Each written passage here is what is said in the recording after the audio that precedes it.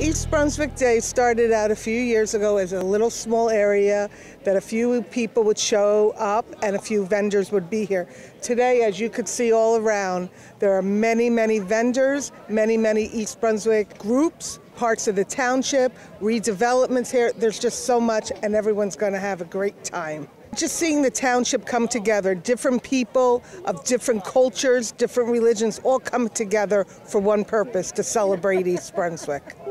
It's a great community, great mayor, great council, great people that want to volunteer, and without our volunteers, we'd be nothing. Redevelopment is a very important facet of the future of East Brunswick. We are taking places that are no longer really valid for our community and working to make it into a, a 2020, 2030, 2040 community.